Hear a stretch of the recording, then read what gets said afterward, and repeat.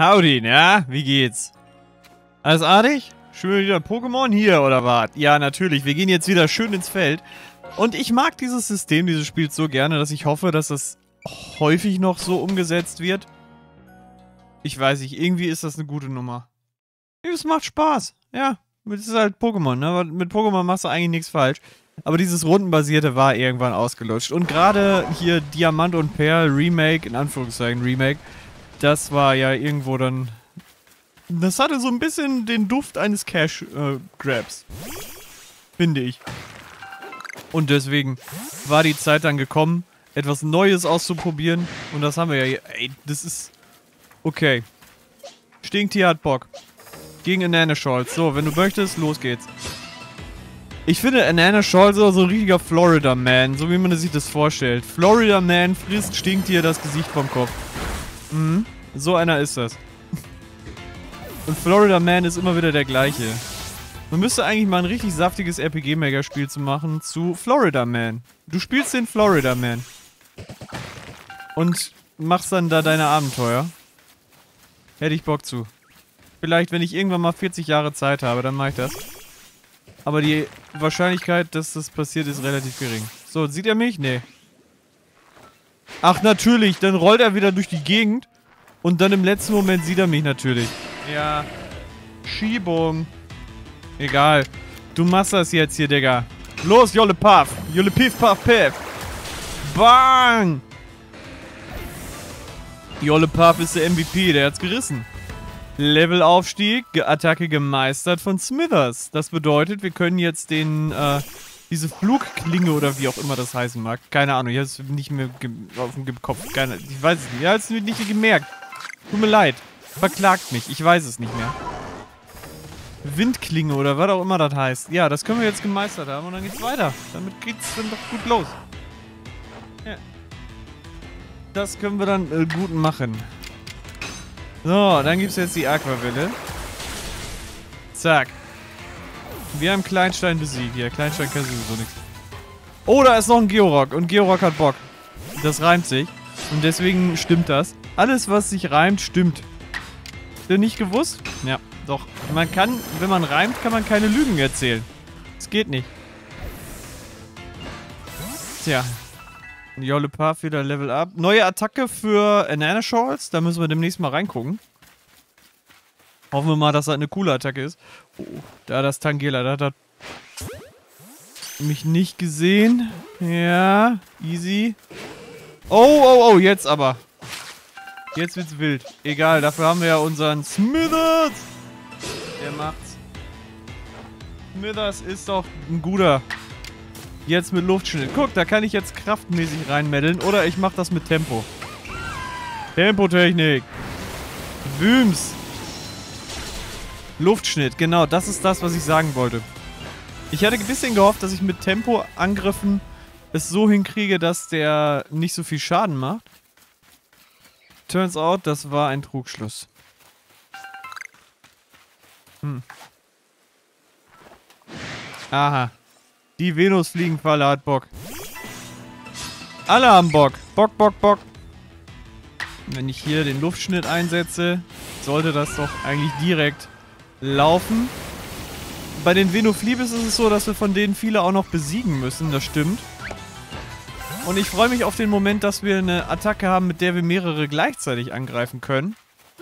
Das ist ja auch manchmal dann vonnöten. Oh Mann! Das habe ich nicht gesehen. Ich bin schon so weit weg, dass die Musik ganz leise wird. Belastend. Egal, Burmi besiegt. Mit Attacke vom Flug, Flug, Fl Typ Flug besiegt. So, das wird ein Schuh draus. Kann gar nicht mehr sprechen. Ah ja. So, das machen wir auch. Hier ein bisschen Holz mitnehmen. Holz. Fünf Aprikoko sind eine gute Nummer. Das bedeutet, dass wir bald wieder gut Pokebälle bauen können. Die sind ja auch ein bisschen teuer. Aber nichtsdestotrotz habe ich das Gefühl, dass wir auch mittlerweile relativ gut Geld kriegen. Durch unsere Angriffe hier. Und insbesondere durch die Pokémon, die wir fangen. Das Schöne ist ja, dass wir mit allem Fortschritt machen. Da, man kann ja kaum in diesem Spiel was machen, was nicht irgendwo belohnt wird. Finde ich schön. obwohl, da habe ich nicht richtig getroffen. Egal. So, das Tangela fangen wir mal. Ich hoffe es mal zumindest. Bam! Hitshot! Dieser Schlag im Nacken des Grauens. Oh, zu weit weg. Ja, er fragt sich noch, was passiert und währenddessen habe ich ihn schon mitgenommen. Exemplare gefangen, ohne entdeckt zu werden. Okay. Gefällt mir. Vielleicht haben wir ja das Glück und können Smithers heute noch entwickeln. Wenn er denn das tut, was wir ihm sagen. Oh, ein Kinoso. Das ist doch schön. Er setzt Tackle ein. Hm. Können wir den einfach mal so fangen? Ich glaube, wenn wir den angreifen, dann hat sich das mit ihm relativ schnell erledigt. Deswegen nehmen wir jetzt mal so den Pokéball hier. Zack. Boing. Also ich finde gerade spielerisch ist dieses äh, Pokémon-Spiel sehr gut. Es sieht zwar optisch aus wie, ne? Ja, müssen wir nicht drüber reden.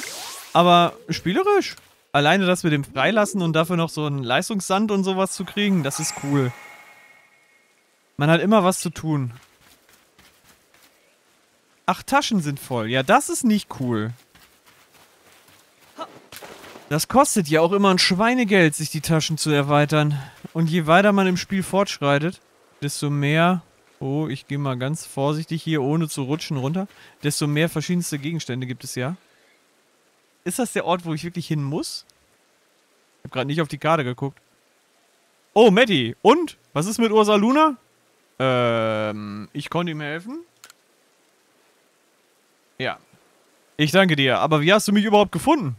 Ähm, ich bin hier einfach nur so rumgelaufen und dann... Ursa Luna ist dem Geruch der Kartoffelmochi gefolgt, die ich gegessen habe. Unglaublich. Es muss tatsächlich der Nachfahre eines Pokémon sein, dem die Macht des ehrwürdigen Sinnoh zuteil wurde.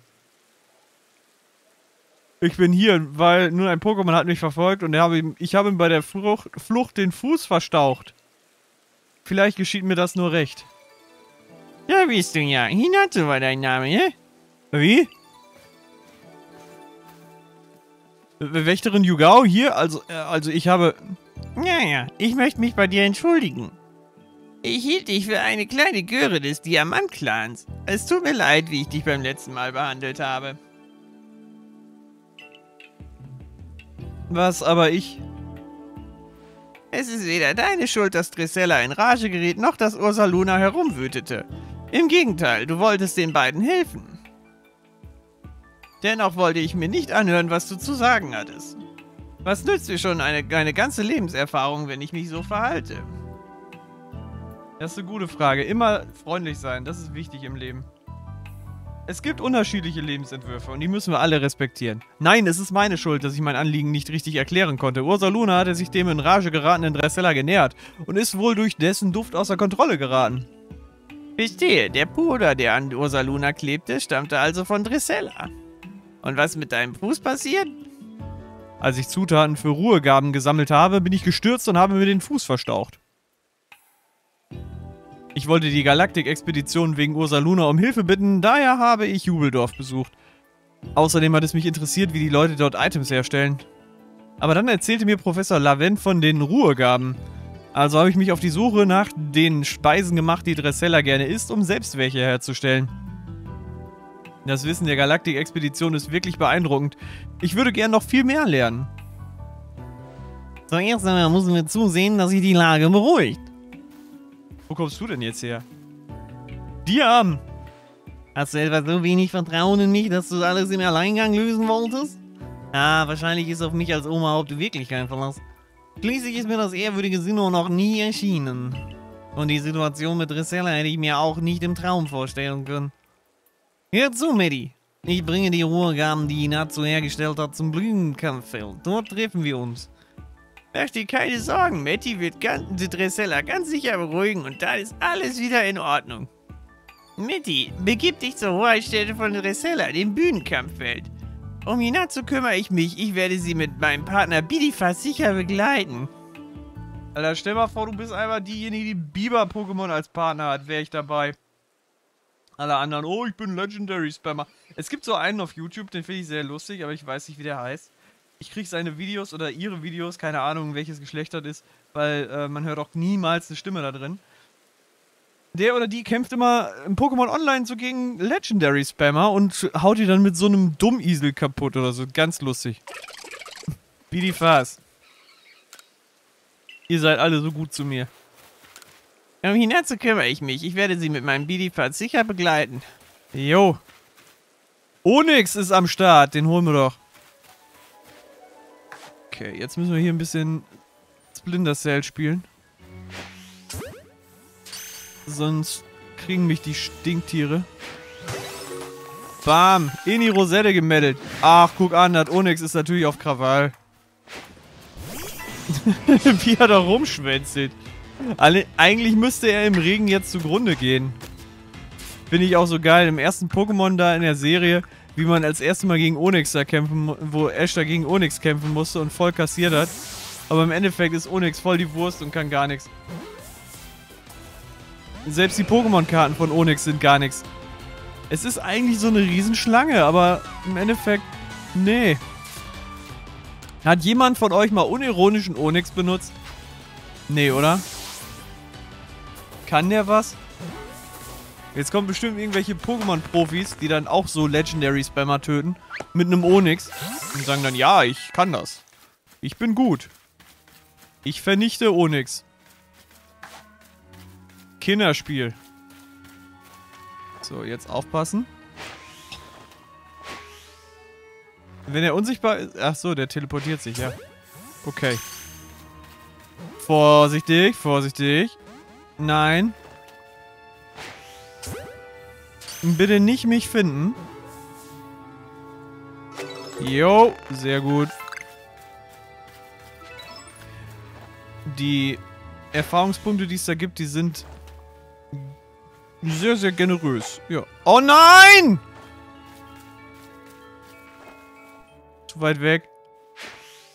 Jetzt. Oh! Dieser kleine Herzinfarkt, den man immer wieder hat. Sudden Falling Sensation. Och, Mann! Ja, wie willst du das denn machen, wenn das immer zu weit weg ist? Wenn ich näher dran bin, dann findet er mich. Guck, jetzt. Nee. Doch nicht. Och, Leute. Hier. Jetzt aber bitte. Komm, komm, komm. Ausrufezeichen über dem Kopf ist nichts Gutes. Gehe hier erstmal schön durch den Sumpf. Und werfe da oben den Smithers hin. Da wackelt nämlich hier so ein, so ein Steinchen. Und das bedeutet Ärger. Da ist ein Kleinstein. Oben auf dem Plateau. Wie so ein Anime-Endkampf jetzt, die beiden. Komm, Laubklinge.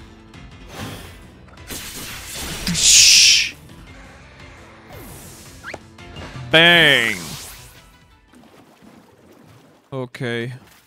Ich glaube, hier ist es ein wenig gefährlich. Nichtsdestotrotz, wie mir das ganze Spiel auch immer sagt, nicht eingetragene, nicht bearbeitete Aufgaben 17. Das ist wie im echten Leben.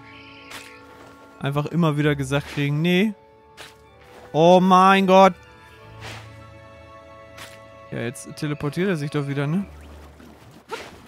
Oh, ich werfe hier immer die ganze Zeit Pokebälle in den Senf. Nee, tut mir leid. Nee. Ich steige auf den Bären und hau ab. Beziehungsweise ich komme wieder, indem ich hier ein bisschen, ne? So. Was haltet ihr davon? Entwickeln. Ja, Nanu Smithers entwickelt sich.